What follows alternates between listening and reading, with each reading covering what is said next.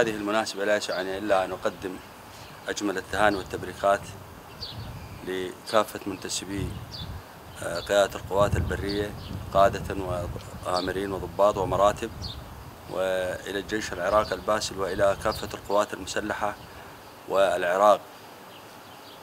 آه، بهذه المناسبة العظيمة مناسبة تأسيس هذه القيادة.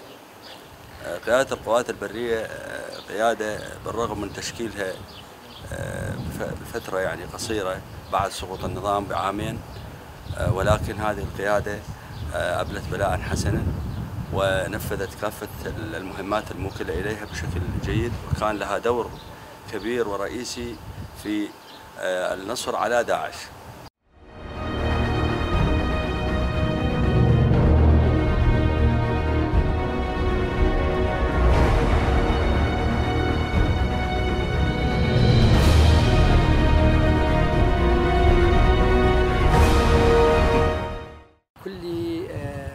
عام في مثل هذا اليوم يحتفل منتسبو قيادة القوات البرية قادة وضباطا ومراتب بمناسبة تأسيس القيادة التي تشكلت قيادة القوات البرية في الخامس عشر من شهر آيار عام 2005 واليوم كذلك احتفلنا آه، كمنتسبي مقر القيادة والقيادات أجمع بهذه المناسبة الذكرى الرابع عشر لتأسيس هذه القيادة البطلة.